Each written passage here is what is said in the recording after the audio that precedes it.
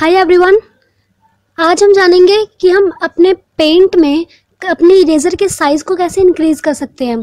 तो देखिए, इसका तरीका सबसे पहले तो सिंपल सा तरीका जो सारे बताते हैं वो क्या है। पहले आपको शेप ड्रॉ कर लेते हैं हम। इसमें देखिए, इसमें हम कलर फिल कर लेते हैं। उसके बाद अब देखिए, यहाँ से हम इरेज़र को जब हम सिलेक्ट करेंगे तो ये तो देखिए छोटा सा साइज़ है, ये इरेज हो रहा है। प्लस यहाँ से हम साइज़ एक तो यहाँ से इंक्रीज़ कर सकते हैं, जो यहाँ पे साइज़ लिखा हुआ है, यहाँ से आप इसको थोड़ा सा बड़ा कर सकते हैं।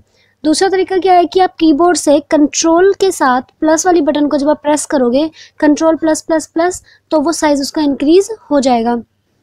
नेक्स्ट बट अगर आपके आपके पेंट में अगर ये नहीं हो रहा साइज़ इंक्रीज़ तो इसका एक तरीका और क्या है, वो देखते हैं अब हम। तो यहाँ पे आप स्टार्ट बटन पे जाइए। यहाँ पे जो सर्च का है, यहाँ पे आप सर्च कीजिए ऑन स्क्रीन कीबोर्ड लिख कर जब आप सर्च करेंगे, देखिए टॉप पे आ गया ऑन स्क्रीन तो इस पर जब हम क्लिक करेंगे तब देखिए आपके पास ऐसा सा एक खुल के आ जाएगा, ऐसी सी एक विंडो उसमें देखिए यहाँ पे आपको ऑप्शंस का एक मिलेगा। इस ऑप्शंस पे जो आप क्लिक करोगे ऑप्शंस बटन पे तो यहाँ पे आपको टर्न ऑन न्यूमेरिक कीपैड मिलेगा। इसको आप अनेबल कर दीजिए। तो जब इसको अनेबल कर दोगे, यहाँ से ओके कर दो। ओके हो गया?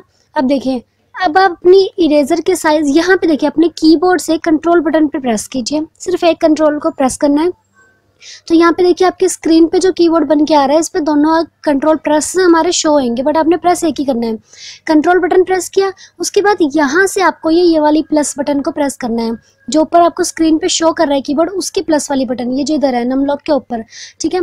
तो यहाँ से जब हम प्रेस करेंगे तो ये देखिए इसका साइज़ इंक्रीज़ होएगा। पहले यहाँ से साइज़ को सिलेक्ट कर लेते हैं हम। ये हमने सेलेक्ट कर लिया। अब देखिए, यहाँ से कंट्रोल बटन प्रेस कीजिए, और वहाँ से इस वाली बटन को प्रेस कीजिए। तो अब देखिए, अब आप देखेंगे आपके इरेजर का साइज़ ये देखिए इंक्रीज़ होता जा रहा है। तो आप जितना यहाँ पे प्रेस करते जाएँगे, आपके इरेजर का साइज़ बड़ा होता चला जाएगा। तो इस तरह से हम इरेजर के साइज़ को इंक्रीज़ कर सकते हैं।